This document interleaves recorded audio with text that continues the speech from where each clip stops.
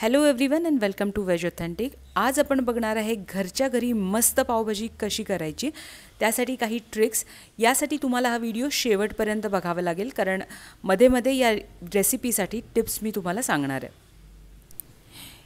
इथं मी पॅनमध्ये एक चमचा बटर घेतलं आणि एक दोन चमचे तेल घेतलं. बटरमुळं पावभाजीला टेस्ट चांगली येते. त्यानंतर यामध्ये एक चमचा जिरे घातले. जिरे थोडे तडतडल्यानंतर ह्यामध्ये मी तीन बारीक चिरून कांदे घातलेत. पावभाजी करताना कधीसुद्धा बटर घालावं त्यामुळं पावभाजीची टेस्ट आणखी छान लागते. आपल्याला छान गुलाबी रंगावर कांदा परतून घ्यायचा आहे इथं मी दोन कप पाणी घेतलं. त्यामध्ये मी मीठ घालून घेतलं आहे स्वच्छ निवडून धुतलेला फ्लावर आपण त्याच्यामध्ये घालायचं आहे यामध्ये अशा रीतीने फ्लावर घातल्यामुळं काय होतं की जे फ्लावरमध्ये जर काही किडे वगैरे असतील तर ते निघून जातात. शक्यतो हिवाळ्यामध्येच मी फ्लावर वापरते नाही तर मी फ्लावर वापरत नाही कारण हिवाळ्यामध्ये फ्लावरमध्ये किडे नसतात किंवा आळ्या नसतात. आता कांदा आपला परतून झाला यामध्ये मी आलं लसणाची पेस्ट घालते आहे साधारण एक दीड चमचा मी घातला आहे आणि याचा कच्चा वास जाऊपर्यंत आपल्याला ते परतून घ्यायचं आहे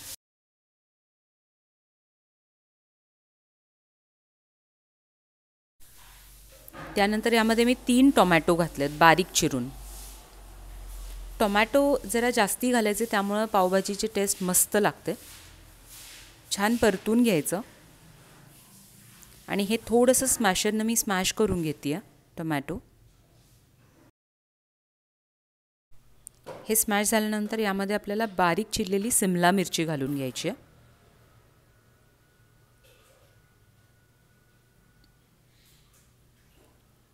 आणि चांगलं परतून घ्यायचं. सिमला मिरची वाफली पाहिजे त्यातच.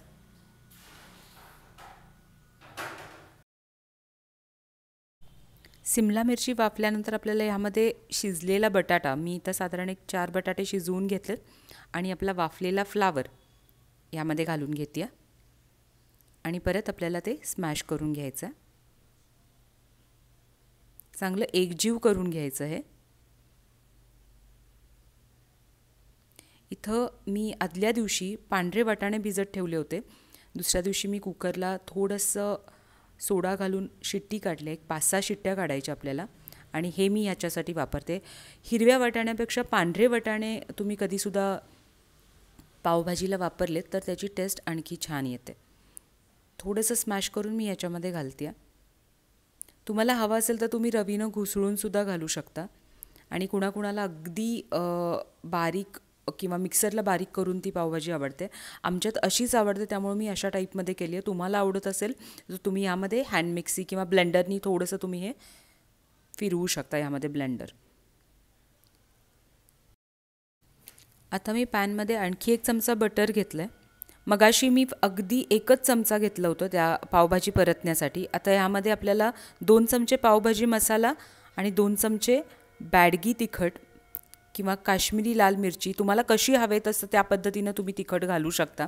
तुम्हाला जास्त तिखट हवी असेल तर जास्त तिखट तुम्ही घालू शकता. यामध्ये पावभाजी मसाला परतल्यामुळं पावभाजी मसाल्याची चव आणखी एन्हान्स होते. कारण हे मसाले बरेच दिवसाचे असतात. त्यामुळं बटरमध्ये परतून घेतले की पावभाजी आणखी टेस्टी होते. मी छान असा आता परतून घेते आहे ह्याच्यामध्ये.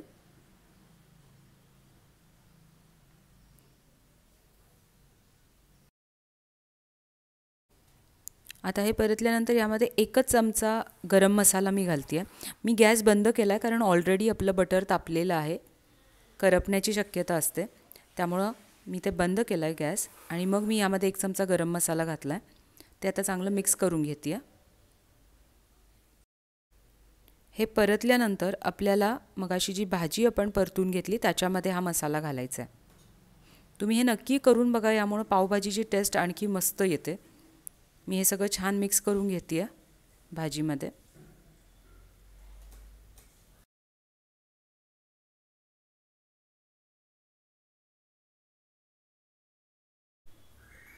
आता परत मी थोडंसं एक चमचा तूप घेऊन त्याच्यामध्ये मी कसुरी मेथी परतली. त्यामध्ये आणखी एक चमचा तिखट घातलं कारण मला वाटलं की थोडंसं तिखट कमी पडतं आहे त्यामुळे एक दोन चमचे तिखट वाढवलं आणि परतून घेतलं. तुम्हाला हवं तसं तुम्ही तिखट कमी जास्त करू शकता. कसुरी मेथीमुळं पावभाजीला एक छान असा स्वाद येतो.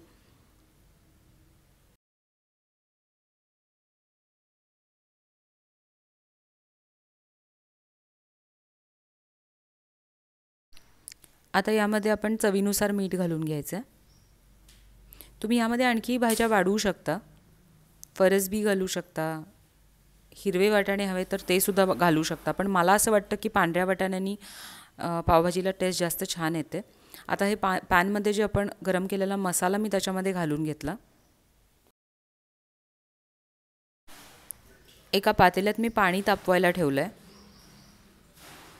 पाणी उकळी येऊपर्यंत मी इथं थोडीशी भाजी परतून घेते आहे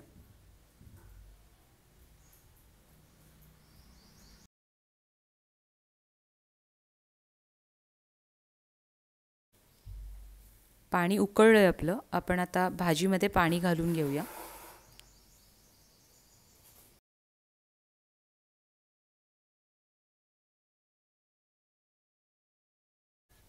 आता ही भाजी चांगली एक पंधरा ते वीस मिनटं चांगली शिजवून घ्यायची.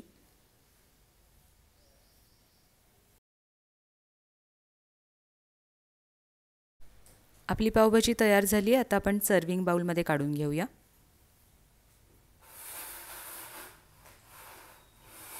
तयार आहे आपली मस्त आणि टेस्टी पावभाजी. नक्की करून बघा आणि मला कमेंट बॉक्समध्ये नक्की सांगा की कशी वाटली. आय होप तुम्हाला आजचा व्हिडिओ आवडला असेल तर मग लाईक शेअर आणि सबस्क्राईब करायला विसरू नका. आता भेटूया नेक्स्ट व्हिडिओमध्ये till then eat healthy stay fit thank you so much